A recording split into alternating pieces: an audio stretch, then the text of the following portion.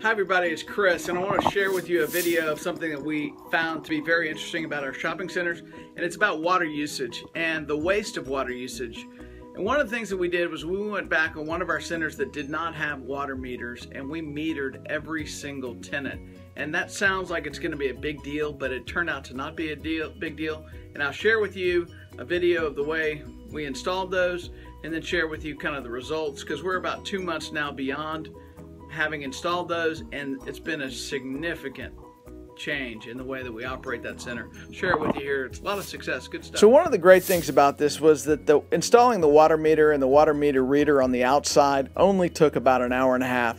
And one of the great things about having the water meter reader on the outside is that it allows us to go by 24 hours a day and take a reading of what the water usage of each tenant space is. It's great stuff. It's really useful and we're real happy with the way the final result ended up.